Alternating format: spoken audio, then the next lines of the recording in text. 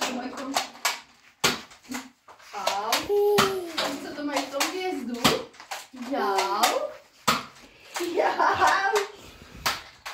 Oni tě tady takhle po, používají jako živej terč. Uh, oni v tom hvězdu mají magnolii. Hm? Třeba půjčena. Ty topenáři.